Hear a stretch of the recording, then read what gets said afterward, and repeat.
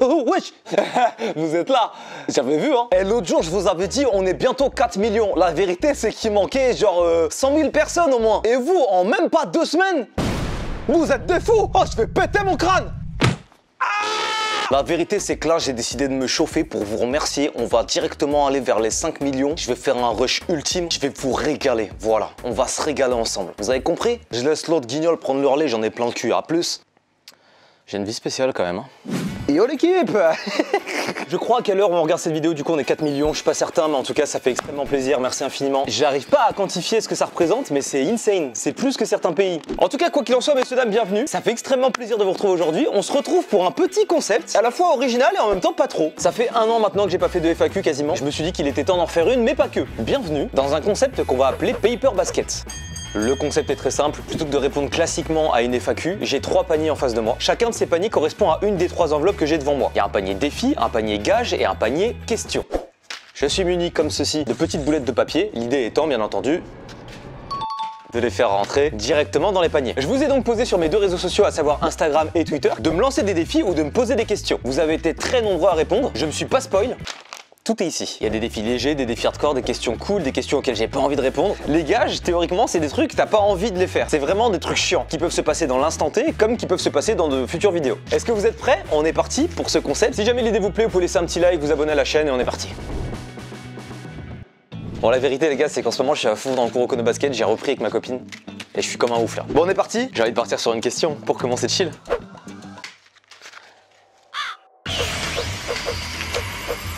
Let's go, une question. Et je suis trop hypé par le concept, ça y est, je suis trop heureux. J'en prends une au pif. Tu fais caca combien de fois par jour ou par semaine?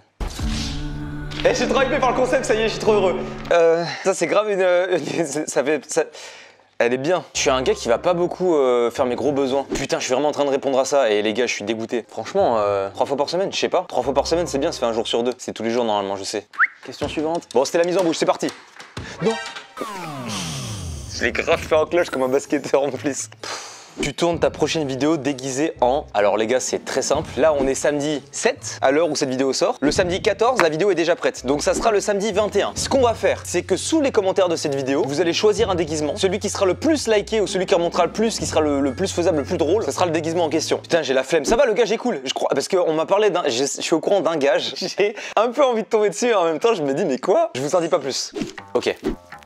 Yes, là, ça y est, je suis chaud, j'ai capté la mécanique. Oh, question par rapport à la dépression. Est-ce que ça va vraiment mieux ou il t'arrive d'avoir des petites rechutes? Si oui, comment tu gères ces phases? Euh. J'ai des petites rechutes parfois. Genre, il y a des journées, j'arrive pas à me lever, je suis vraiment dans un, dans un mauvais mood et tout. Du coup, comment je gère ces phases? Je m'accroche à tout le positif possible et je me fixe des objectifs. Souvent, ce qui me fait déprimer, c'est quand j'ai fini une grosse vidéo ou autre et qu'elle est sortie, bah ça y est, je suis content. Et la phase qui vient juste après, je suis en mode.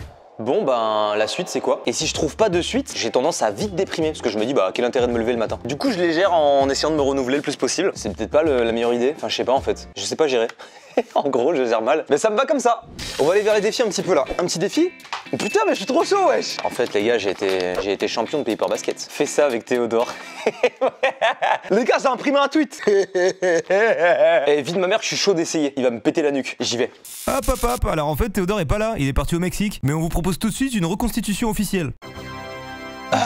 Je vais aller vers une petite question là. Je vais aller vers une petite question. Mais vise bien, je suis une, je suis une queue, je suis une queue ou quoi Je suis une queue Si je la mets pas, je suis une merde. Yeah Attends, si je la mets pas. Ouais, c'est bon, je suis pas une merde. C'est deux questions en une. Montre-nous ton salaire du dernier mois. Du coup, virgule, l'argent fait-il le bonheur? Vous savez quoi? Pas de tabou. Je l'avais dit dans le tweet, pas de tabou. Et je vais vous montrer mon salaire du dernier mois. Alors, je désamorce juste un truc. Là, on est que sur les revenus générés par YouTube, les publicités. Ça donne ça.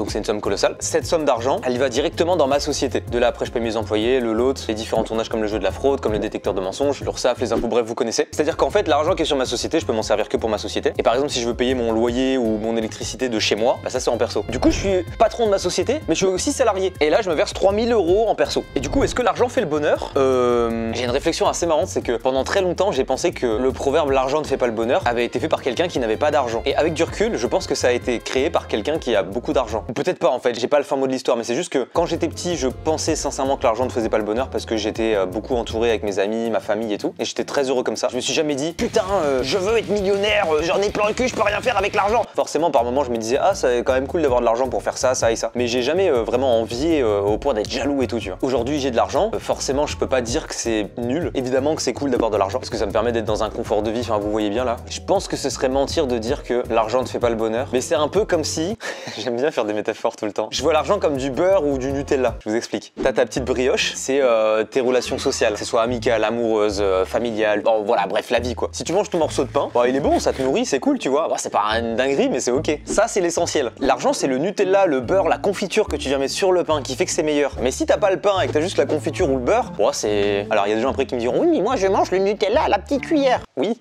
si tu veux. Mais vous voyez ce que je veux dire. Moi, j'ai besoin de mon pain ou de ma tranche pour que le tout soit bon, tu vois. À choisir, si je devais passer soit de tous mes potes, de toute ma famille, de tous mes amis ou de la thune, et la thune dégage. Après, on va pas se mentir, pour avoir connu la haise totale, c'est quand même vachement bien d'avoir de la thune. On finira là-dessus. Très long cette question. C'est ce que je cherche comme ambiance. Allez, on en reprend une deuxième.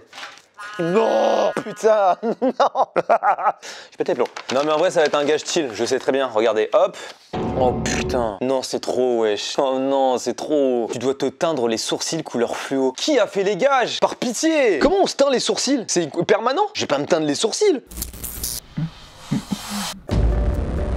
Vas-y, va rincer en vrai, ils sont blonds et tout là. Vas-y, j'ai peur. Mais non, mais y a pas à avoir peur. Pourquoi tu m'as grippé les fesses comme ça Mais quel, quel comédien, putain, t'as peur de quoi Ouvre pas les yeux. hein. Ouais. Ouais, ça fait mal, ça fait mal de fou. Ah, c'est bon, arrête. Non ça fait vraiment... C'est lui qui a plus de sourcils Ils sont, roux, ils sont roux. Arrêtez, arrêtez Quoi j'ai les sourcils roux les gars Ils sont roux, ils sont roux. Faut prendre du papier pour l'essuyer direct. avec ça lui décolore.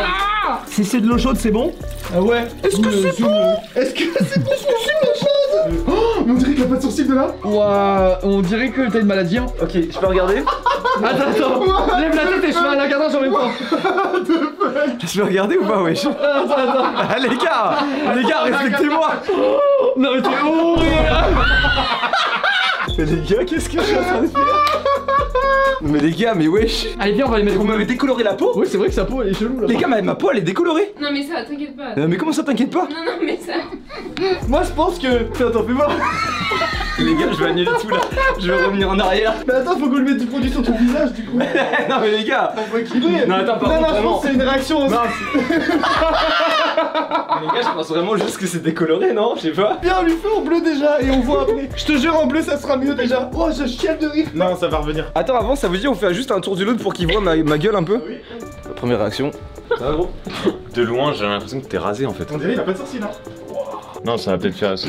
Ouais Les gars, là sur, euh, sur 10, genre je suis frais euh, comment 10 sur 10. Là, là, gros, là, Franchement, y a de aucun souci, t'es trop léger. putain, oh let's go Oh les gars C'est Mais on t'a en bleu, Ouais, sa mère là. Ça pue du cul Ouais, bleu. Merci les gars Ils sont longs tes sourcils, c'est quoi ce merdier là Ouais, j'ai tout, tout de long chez moi en termes de poils en tout cas. Parce que la bite, c'est vraiment pas ça. Tu mens J'ai vu la story. Belle bite.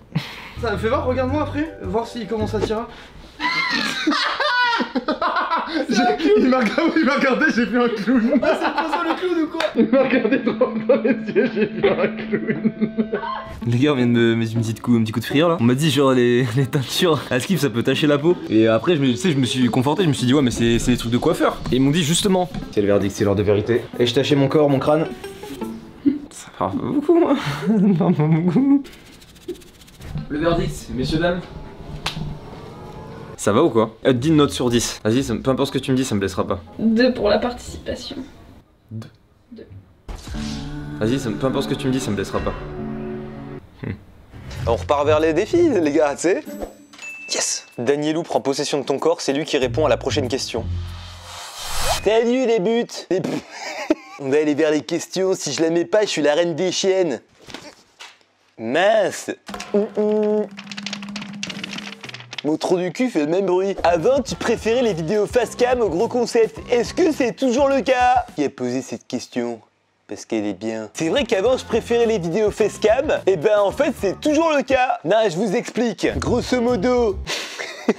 Ce que j'aime pas dans les gros concepts, c'est quand ça ressemble à la télé. C'est-à-dire, en fait, euh, tu mets 50 000 euros dans un concept et peu importe qui sont les guests, ça change rien. C'est-à-dire, tu mets euh, un gars drôle comme un gars pas drôle, le concept il prend tellement le dessus sur le reste que. euh, genre il y a 40 000 cams, il y a 50 000 personnes sur le tournage. Ça j'aime pas. Moi c'est mon avis, tu vois. C'est juste, je trouve à regarder, moi j'aime pas, tu vois. De base, quand je suis des youtubeurs, c'est parce que je les aime. Alors que des concepts comme détecteur de mensonges ou la fraude, bah il y a notre humour avec Théodore, il y a notre truc à nous. Ça j'aime bien. On va arrêter ce personnage Il est chiant. hein. Je crois que j'ai à peu près bien répondu à la question. hein. Donc en définitive, euh, concept facecam j'aime toujours, mais il faut que j'ai des concepts à côté, euh, comme euh, là l'épisode 2 de la fraude qu'on est en train de préparer avec Théodore quoi. On part sur un défi l'équipe Parfait. Fais un stream dodo avec le lot. Oh yes C'est un banger, c'est trop bien. Un stream dodo avec le lot, c'est-à-dire en gros en mode euh, là on pose que des euh, partout dans tout le studio là. On pose full matelas, on met une cam, un fat micro et on passe la soirée ensemble genre en mode euh, soirée pyjama au lot. Oh, c'est trop bien. Je fais une story maintenant pour leur dire. Les gars, je suis en tournage, j'étais en train de répondre à des questions, des défis et tout des abonnés et là je vois comme défi faire un stream dodo au lot. Est-ce que ça vous chauffe ou pas? Moi ça me chauffe. Et pour le moment, ça se déroule plutôt bien. On va s'orienter un peu plus vers les questions. S'il vous plaît, une question cool. Putain, je suis fort. La vague du début étant passée, comment se déroulent les journées au lot maintenant? C'est une bonne question. Ça a un peu changé parce qu'au début, on était beaucoup dans les travaux. On n'avait pas tous nos studios pleinement finis, donc on traînait beaucoup dans l'espèce de cuisine un peu claquée qu'on n'a pas retouché. Maintenant, les pièces sont finies, donc chacun un peu plus dans son studio, mais pas que. Jordan est beaucoup en déplacement dans les quatre coins de la France. Linka et Actuan, eux, ils viennent essentiellement pour streamer. Raska, il a quasiment tout le temps, mais il est quand même pas mal dans son studio. Théodore, ce tâte à changer de studio ou non, il sait pas s'il reste dans le sien, s'il tourne dans le mien, machin, donc c'est pareil, un peu électron libre. En plus, il est sur Paris ou sur des tournages dans toute la France. Moi, de mon côté, je suis mis en déplacement, mis ici. Du coup, ce qui est cool, c'est quand je suis en déplacement, souvent c'est pour bosser des gros concepts. Et quand je reviens ici, ça permet de peaufiner un peu plus ses idées, tourner, réfléchir à d'autres concepts aussi, faire des streams. Donc c'est plus posé, on a une routine de travail qui est propre à chacun. On continue quand même de se voir et tout ça, y a pas de souci. Mais c'est moins, euh, mais c'est moins freestyle. Défi ou question? Les deux? Ah, ça sera que défi. Autoportrait express. Oh putain. Je suis nul en dessin, je sais qui a posé la question, c'est Vivi en plus. J'ai une minute. C'est une catastrophe. Mes yeux ressemblent à quoi? Putain, à rien en fait.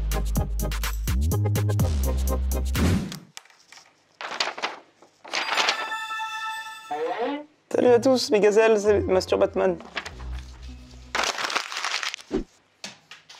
Top. Allez, question suivante. Non, mais je suis nul Putain, ça rend fou Par pitié, un gage cool. Les gars, j'ai le... ah bah ça y est, il est tombé. C'est le, le gage en question. Faire une descente en rappel du lot. C'est une dinguerie, j'ai trop envie de le faire, mais est-ce que c'est possible? Ça veut dire que je vais devoir marcher sur les vitres des gens qui travaillent en dessous. On va se faire virer du bâtiment, non? Et les gars, je vous jure, on va tout faire pour le faire. Quitte à demander des autorisations à la mairie à ce qu'on soit encadré, si on soit 52, je veux faire cette descente en rappel du lot. Question, allez. Yes. Tu penses quoi du YouTube actuel qu'on... Attends, tu penses... Tu penses quoi du YouTube Oh, j'ai du mal. Tu penses quoi du YouTube actuel comparé à l'ancien? Je vois plein de gens, surtout sur Twitter, dire que YouTube c'était mieux avant et tout ça. Et je suis pas tant d'accord. En fait, je vois ce qu'ils veulent dire. C'est le côté un peu nostalgie de l'époque où euh, une chaîne YouTube égale un YouTuber, il jouait de son côté à des jeux indés et tout ça, où il faisait des petites vidéos mais tout seul. Les feeds se faisaient plus rares, donc quand il y avait deux YouTubeurs qui se croisaient, c'était une dinguerie. Je suis très attaché à ce YouTube là, mais en même temps, je me dis c'est tellement diversifié aujourd'hui, à tel point que c'est difficile d'innover au final. C'est-à-dire que moi à l'époque, j'ai été innovant en faisant une vidéo dans ma voiture. C'est ce pourquoi ma chaîne a marché. Alors c'est vraiment tu mets une canne dans une voiture, mais c'est pour dire, tu vois. Moi je trouve que dans le YouTube actuel, il y a quand même pas trop de limites au divertissement. J'aime bien le YouTube actuel. Et je sais que pour certains, YouTube c'est mort et tout, mais je trouve que c'est faux. hein. Il y a jamais eu autant de personnes sur la plateforme. C'est toujours un peu le même schéma, je trouve, que ce soit pour les YouTubeurs, rappeurs et même pour les médias a priori. Quand c'est un peu de niche, les gens sont fiers. Ils sont trop contents, ils- c'est leur truc à eux, ils kiffent, ils montrent à leurs potes, mais tu vois, c'est un peu le truc de précieux, tu vois. Quand ça commence à péter, t'es trop content. Tu te dis putain, je suis trop content pour cet artiste, il mérite de fou et tout. Et quand il atteint un stade de notoriété qui est hyper élevé, en gros quand tout le monde le connaît quoi, là il y a une partie des gens qui à dire ouais ça a changé, Euh, ouais mais moi je préférais avant, ah c'est un peu c'est un peu de la dé maintenant je trouve, c'est pas ouf. Et la prochaine étape pour les créateurs en tout cas souvent c'est de faire une masterclass qui met tout le monde d'accord et là tout le monde dit bon c'est quand même le GOAT. Je sais pas, Eh, elle m'a inspiré cette question, j'ai parlé longtemps. C'était quoi la question de base? Ah ouais, j'aime bien le YouTube actuel. Encore envie de questions, les défis j'ai la flemme hein. Oh elle était belle. Plutôt pipi debout ou pipi assis? Ah si, c'est grave mieux. Tu peux être sur ton téléphone, t'en mets pas partout. L'excuse du oui, mais quand on a un gros zizi, ça touche les cuvettes. Arrête, arrête, arrête, arrête. Vous êtes pas les seuls à avoir des gros zizi, vous mentez. Après, debout, c'est pratique, hein, dans la nature et tout. Mais frère, quand t'as des toilettes, toilettes japonaises, avec la cuvette qui chauffe et tout, t'es fou ou quoi? Assis-toi, prends le temps. Petit pipi, hop, clash royal, bam. Oh, il était beau, mais quelle nonchalance dans le lancer Bah tiens, elle est encore là, l'enveloppe des questions, parfait. C'est pour quand la salle multistream? Ah ouais, ouais. Ouais, c'est pour quand la, la salle multistream En vrai, comme j'ai dit tout à l'heure, comme on a tous nos, projets du moment euh, chacun, bah c'est compliqué de tous stream ensemble. Et je me rends compte d'une chose, c'est que si on veut faire un stream multistream, on a littéralement l'espace détente du lot avec une putain de grande table, on a l'espace d'à côté avec les petits poufs pour se mettre en ambiance cosy, comme j'avais fait dans la vidéo avec Tobaba et. Et justement, je rebondis sur cette vidéo, j'ai tellement kiffé le mood, c'était tellement cool, que je me demande si j'ai pas envie de faire un truc du genre, euh, je pose des micros, on discute d'anecdotes, de sujets en particulier, et voilà. Une sorte de talk show où juste on discute d'un sujet que vous mettez dans les commentaires. Dites-moi ce que vous en pensez. Ça peut être avec les gars du lot, ça peut être avec n'importe qui. Je pense à Billy et Amine, c'est des gens avec qui j'ai trop envie de discuter, de faire des trucs et tout ça. Je sais que certains attendent la vidéo avec Billy que j'avais annoncé il y a 6 mois dans une vidéo. On a parlé avec Billy, il est chaud, mais on a envie de faire un truc cool, donc faut qu'on se pose, qu'on prenne le temps. Mais en fait, je l'ai pas relancé, c'est de ma faute. Oh putain, ça aurait pu euh, Du coup, attends, j'ai pas répondu à la question. Euh, la, salle multistream, je pense qu'on va pas la faire. Soit on en fait une salle de jeu, parce qu'on a une table de ping-pong, on peut ramener un flipper, enfin bref, plein de trucs. Salle de cinéma, je pense pas que ça serve, on y avait pensé, mais en fait, on a déjà la fat télé, donc je me dis bon. Ou alors, c'est une salle vierge, comme moi. Vierge du chibre. Pardon. Et ça permet de moduler la pièce quand on a un tournage à faire en particulier. Faut qu'on en rediscute. Oh, il était pas mal celui-ci. Et Je vais plus faire les défis, les gars. J'ai envie de répondre aux questions. J'ai trop la flemme. Je sais que si je commence à faire trop de défis, après, je vais plus, je vais plus assumer. Ouais, vas-y, j'allais j'allais la remettre. T'as voté pour qui au présidentiel? Les gars, les gars, je ne veux pas de problème. Peu importe qui je dis, on va me dire, mais t'es fou d'avoir voté pour lui ou pour elle. Euh, réfléchis un petit peu, connecte les neurones. C'est un truc très personnel qui dépend de la position de chacun. Euh, c'est compliqué. Je skip la question, je m'oriente vers les gages. Oh putain. je dois faire 100 pompes. On va faire ça dans l'espace détente, vous êtes prêts? Balade à deux, à l'odeur de l'amour. Putain, sans pompe, les gars, j'ai la flemme, hein. C'est parti. Oh putain, Ouah, j'ai des courbatures. Ah, quel gage pourri. Et putain D'habitude j'en fais 50 d'affilée et ça me casse les couilles. Je peux finir en abdos, en abdominaux. Let's go Putain Sans pompe, je suis KO Nique ta Euh, défi ou question? Non, c'est bon, défi sans pompe là. Voilà, parfait. Est-ce que le fait de garder l'identité de ta copine secrète est pour éviter les jugements ou bien pour le respect de votre vie ou de sa vie privée Bonne question ça Euh, C'est pour plein de raisons. La première, j'ai envie qu'on garde notre intimité. C'est un peu con, mais quand t'es connu, des fois, tu te balades en ville, t'as envie d'aller d'un point A à un point B, et en fait, c'est pas possible parce que sur le chemin, tu rencontres des gens. Exemple. Bonjour J'ai des élèves qui sont, on vient de Belgique, qui sont carrément hystériques. Ah, vous venez de Belgique Ah ouais, carrément, vous avez fait la route. Vraiment faire une photo avec vous, est-ce que c'est possible? Eh, je suis désolé, ça pas en couille. Ça n'a aucun sens. Je ne sais pas qui regarder. Du coup, je me dis, euh, ma copine subit déjà ça en étant avec moi, c'est-à-dire que quand on est ensemble, elle subit les arrêts pour prendre une photo, ceci, cela. Si je peux lui épargner le fait que quand elle est toute seule, elle se fait accoster par des gens, je le fais. Deuxième point, là c'est un peu badant. Imaginez, là, je fais des vidéos avec ma copine qui n'est pas youtubeuse. Donc elle arrive, elle est là, hop, salut, c'est ma copine, machin, hop, hop, hop. Déjà, on va faire que l'associer à la copine de, la copine de Massu le youtubeur, la copine du youtubeur. En vrai, c'est hyper dégradant pour elle. Elle fait des choses dans la vie aussi, tu sais. C'est pas juste la copine de. Et deuxièmement, et c'est là où je dis que c'est un peu plus badant, c'est que, imaginons, euh, je fais plein de vidéos avec, c'est devenu euh, une icône sur ma chaîne. Vous la kiffez et tout, c'est trop cool. Et demain, on se sépare. Ça veut dire qu'après, une fois qu'on s'est séparés, elle comme moi, on va aller dans la rue, on va croiser des abonnés. Eh alors, avec ta copine, ça va? Non, mec, je suis plus avec. Ça veut dire que non seulement tu subis la rupture, mais ensuite tu continues à être associé à ton ex. C'est horrible. En résumé, t'as la notoriété, mais que les côtés négatifs. Tu marches dans la rue, on te dévisage, on te dit ah t'es la copine de. J'aime bien ce que ton gars il fait. Et si on se sépare, ça va être à base de t'es pas l'ex de truc? C'est un enfer. Tu te tires une balle. Bon après là, on dirait que j'anticipe une rupture. Pas du tout. Pour être très honnête avec vous, je suis tellement heureux que je me projette et je me dis que je veux faire ma vie avec cette personne. Je trouve c'est bien de pas tout mélanger. Let's go. Bah tiens, on est dans le thème, ta copine pense quoi des fangirls? En vrai, elle s'en fout un peu, euh, tant que ça reste euh, pas physique quoi. Genre quand c'est des TikTok ou trucs comme ça, elle s'en balèque. Et comme n'importe qui, quand ça commence à arriver et que ça fait Oh, t'es mignon mmh. Bah là, forcément, frère, euh, et moi c'est pareil, hein, je pèterai les plombs. De toute façon, je lui ai toujours dit, parce que quand on s'est connus, elle me connaissait pas du tout de YouTube et tout, elle connaissait même pas Squeezie, les gars. Elle a grandi dans une dimension parallèle, je crois. Il y avait pas YouTube et tout, je, sais pas comment elle a fait. Et je lui ai toujours dit, jour 1, je ne pourrais pas, à ta place, sortir avec un- une, influenceuse genre. Après, c'est les goûts et les couleurs, mais moi j'aurais du mal, hein, franchement, je, ça me casserait la tête, je pense. Le dernier lancé pour la question finale. Oh, il était pas mal, il était en cloche. Dernier lancé au pied. Dernier lancé. Dernier lancé. Dernier lancé. Putain, dernier lancé. Mais quel connard, je l'ai mis dans le gage, je vous jure, c'est pas. J'ai pas triché, j'ai envie de mourir. Vas-y, putain. Appelle une personne de ton téléphone au hasard pour lui offrir la paire de chaussures de son choix. J'ai pas envie. J'ai envie de choisir en fait. Non, vas-y, au hasard. Vas-y, nique sa mère, je le fais au hasard. Looney, je l'appelle. Ouais, gros, je te dérange pas Ça va quoi mon gars Ça va et toi Bah la pêche mon gars. Euh, gros, je t'appelle parce que je suis en, je suis en vidéo. Ouais. Je devais appeler une personne de mon téléphone au hasard pour lui offrir une paire de chaussures, c'est tombé sur toi. Ah,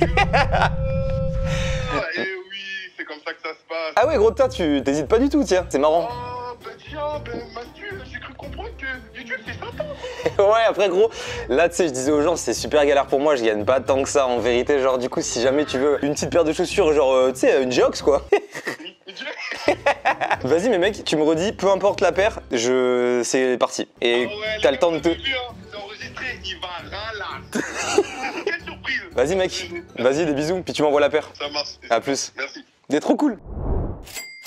Et ben on va terminer là-dessus, c'était très cool. J'ai bien aimé ce concept. J'espère que vous aussi vous avez kiffé, ça change un petit peu, j'ai exploité une partie de mon décor que j'avais pas utilisé jusqu'à maintenant. Si jamais la vidéo vous a plu, je vous invite à laisser un petit like, à vous abonner à la chaîne, comme d'habitude. Je dis toujours un peu la même chose, mais je sais pas quoi vous dire, je vais essayer de trouver un truc original qui ne sort pas de, de l'artillerie du youtubeur, attention. Vous pensez quoi de mon outfit? Non attends, vraiment. Mais quoi? Mais les gars, je suis choqué La caméra vient de se couper, il m'a dit à Paris on surchauffe. Ah bah là c'est une outro originale Ah ah Tu t'y attendais pas à celle-ci Eh ben c'est derrière ces beaux paniers, messieurs dames, que je vous fais la outro de cette vidéo. On se retrouve mercredi pour le prochain vlog. Il y a un vlog cette fois-ci. Ça fait un moment que j'en avais pas fait. Et on me dit dans l'oreillette que peut-être la semaine pro je vous présente une nouvelle pièce de la du lot. Ah je sais plus. Je vous fais des bisous, il est maintenant temps pour moi d'y aller. Let's go Be shit, bye bye Je sais pas pourquoi je parle en anglais. Allons-y, cette merde, bye bye C'est ça que j'ai dit en gros. Allez bisous Et ça c'est mon cul